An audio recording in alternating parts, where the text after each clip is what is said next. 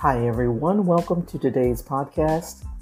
I'm Aldreama Harper, the host of the Organizedpreneur podcast and creator of the Declutter with Dream five day challenge, where I help female entrepreneurs to fulfill their dream of clarity, hope, peace, and sustainability in life and in business. Well, on today's episode, we're going to be talking a little bit about delegation. We're going to answer the question how does delegation really benefit you?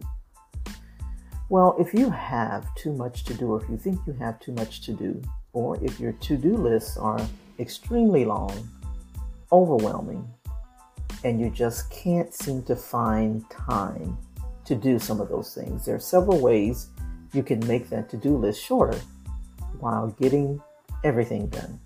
And one of the best ways is to delegate.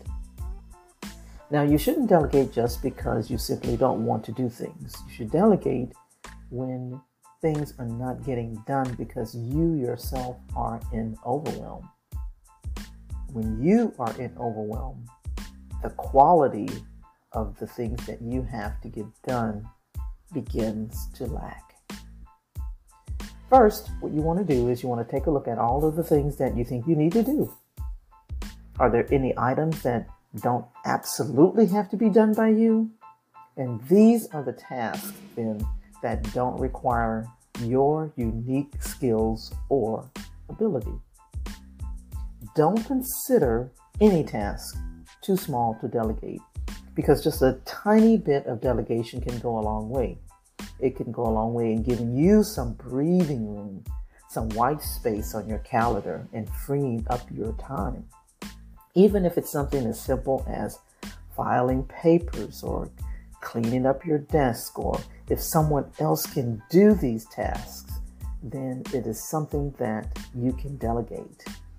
It could be someone in your family, if you're in an office and you have subordinates that can help you or co co-workers that can help you. There are lots of ways that you can delegate. So if you're a solopreneur, you can outsource. You can even outsource household tasks, enlist family members, right? You can have family members, or if you have children, this can be a part of their chores, things like that. There are many ways that you can delegate just some simple tasks. If you're really busy and you like the idea of delegating, you can plan these tasks so that they're easier to delegate. For example, create a system for how you clean the house and teach it to your family members. You can make tutorials for work tasks to teach your virtual assistants how to do it the way you want it done. So, if you always think of think about opportunities to delegate, you will always find them. It's a great relief to get a task off of your to do list and off of your plate. So, hopefully, this has helped you uh, for today. I hope you continue joining us in terms of getting things organized and getting things done. Have an amazing day.